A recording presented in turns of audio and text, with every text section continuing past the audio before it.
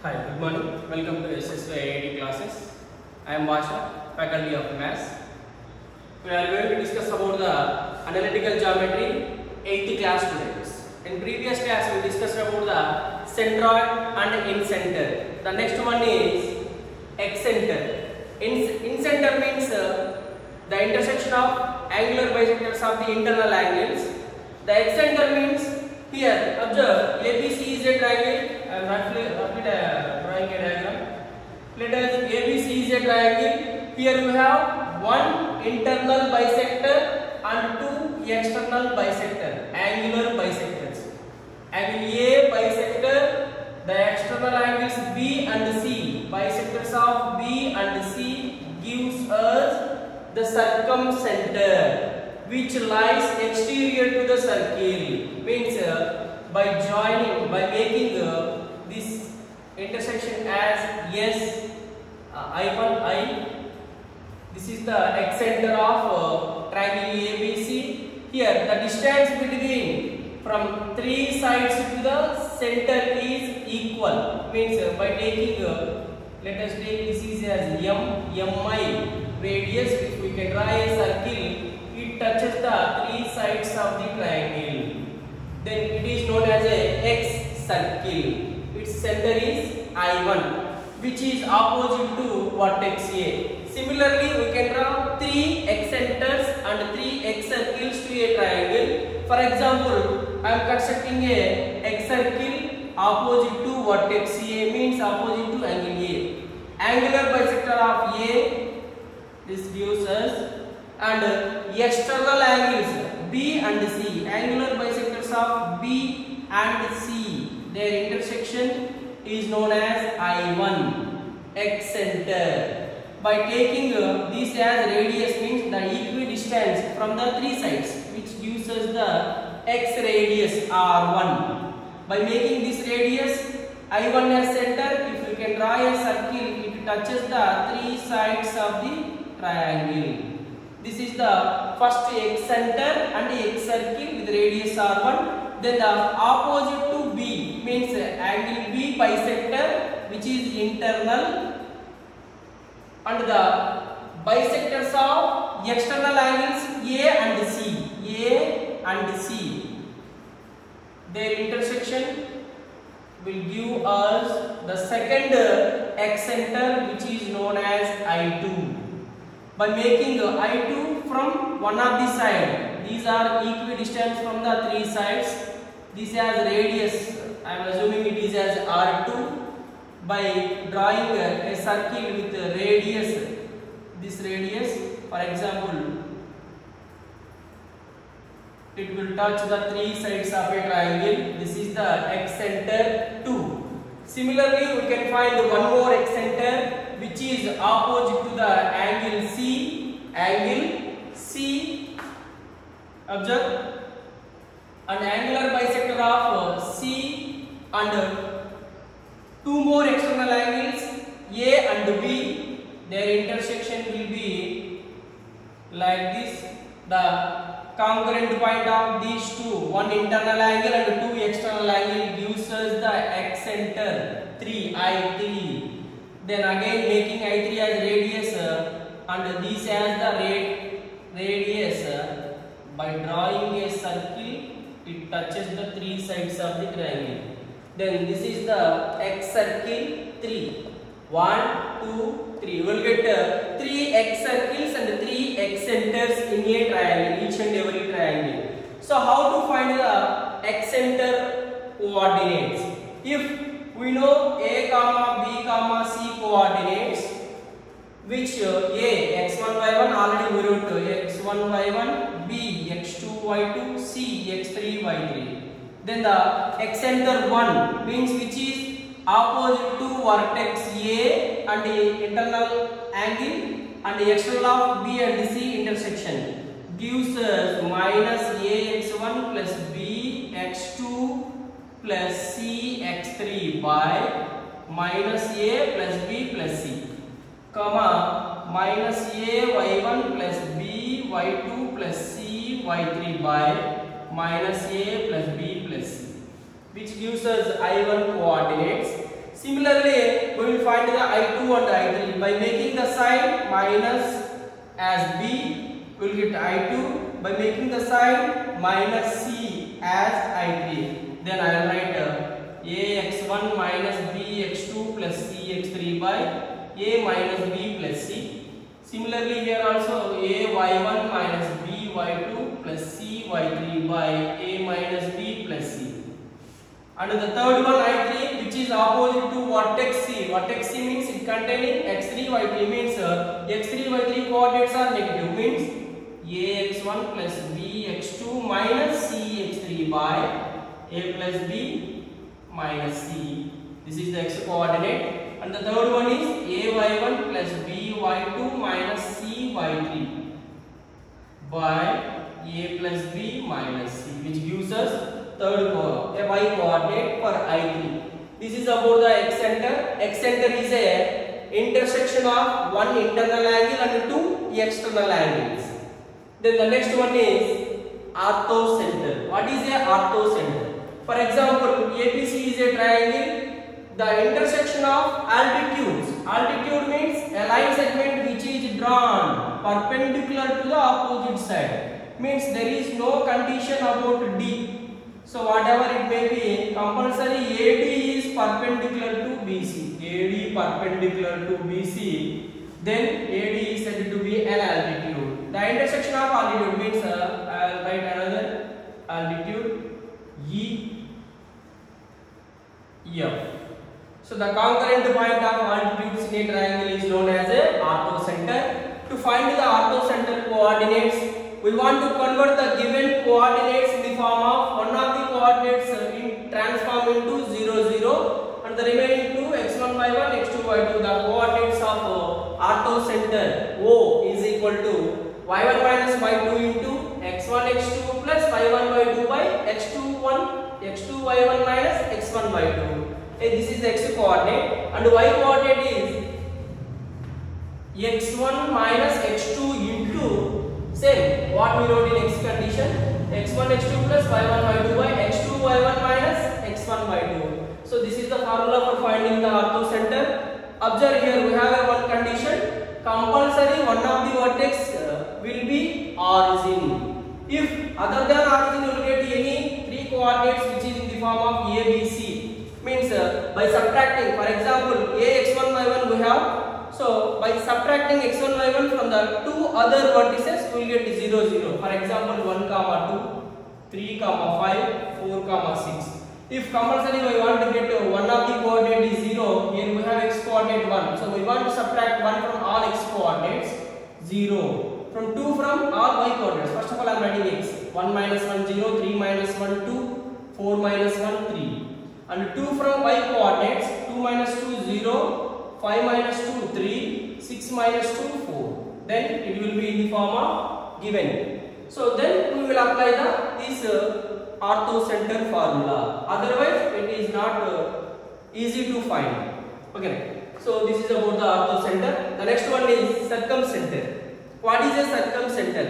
So if abc is a triangle before that we want to know a condition perpendicular bisector. What is a perpendicular bisector? Perpendicular bisector means a line which divides the given line segment or line into two halves and also perpendicular to it. For example ab is a line segment which has uh, 5 centimeters. Then how to construct a perpendicular bisector to ab means uh, taking uh, more than half of the radius of the given line segment means its half radius is 2.5 centimeters.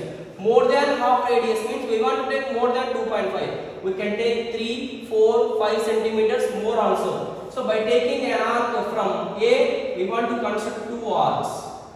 And also by taking same radius we want to construct another two arcs from b. It intersects the previous arcs at uh, distinct points that by joining these two intersections we will get a line. This line is known as a perpendicular bisector which intersect the AB at their midpoint. Let us take M as midpoint and also we have at M 90 degrees which are perpendicular. So here we want to do construct two or three perpendicular bisectors to the ABC triangle. For example, two is enough. For we want to construct a perpendicular to BC means uh, taking more than half of the radius. We want to construct two arcs from B and uh, C. Then we want to join them. Similarly, from AC or AB we can take any one of them. AC. So we want to take more than half of the AC radius and construct two arcs from A and from C. Their intersection will be joined in this. Observe, these are the two perpendiculars. Their intersection will be gives a circumcenter which is known as S. What is a circumcenter? Circumcenter is equidistant from three vertices. Three vertices means uh, SB and uh, SC and also AS which are equal. By making S as center and uh, by using SC or SA or SB as radius, if we draw a circle which passes through the three vertices of a triangle, means the diagram will come like this. This is known as a circumcircle and S is the circumcenter of the triangle or circle.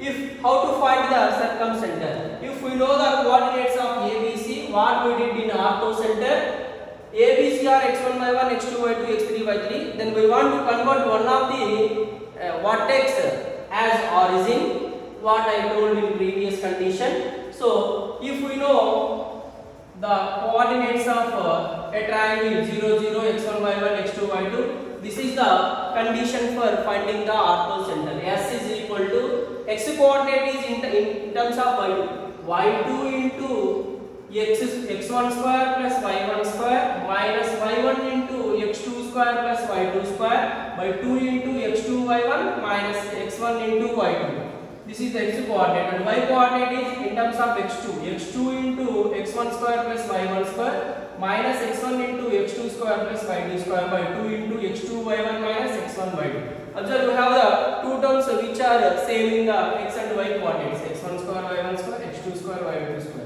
So denominators are same. So y2 minus y1 same condition x2 minus x1 same condition in orthocenter also we get same condition y2 minus y1 into k. k means which is known as this one. X, x1 minus x2 into k. So by using this condition we will find the circumcenter of the any triangle. And uh, we have another condition, last condition. OGS. O means orthocenter, G means centroid, S means circumcenter. If in a equilateral triangle, if ABC is an equilateral triangle, we will get the orthocenter, centroid and circumcenter in center all are at once means uh, so this point which are the here means altitude median both are same in the equilateral triangle so at the time we will get uh, orthocenter is equal to centroid is equal to circumcenter is equal to in center both are coincide but other than the equilateral triangle, we will get uh, some different. If what is uh, Euler's line? If the orthocenter, centroid and circumference are which lies on a straight line means uh, orthocenter, centroid and uh, circumcenter. If we will get like this means the concurrent uh, the collinear points which are OGS on a line is known as a Euler's line which happen the centroid G divides O and S in the ratio 2 is to 1 means in Euler's line centroid divides the orthocenter and circumcenter in the ratio 2 is to 1. Finally, we have one more condition. If ABC is a triangle and uh, O is the orthocenter. O is the, suppose O is the orthocenter. So, in triangle ABC, orthocenter is O. Observe here I am writing orthocenters. Then again uh, by joining OB, OC, OA, it will become again three smaller triangles. So in triangle OAB, what are the triangles? In triangle OBC, in triangle OCA, observe. There are three uh, smaller triangles. The orthocenter of OAB, OAB will be the next vertex C.